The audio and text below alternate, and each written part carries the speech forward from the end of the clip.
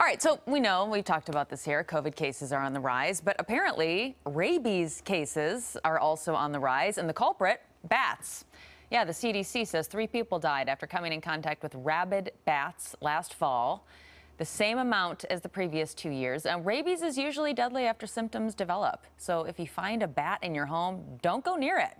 But if you make accidental contact or get bitten, you need to go to a hospital for testing.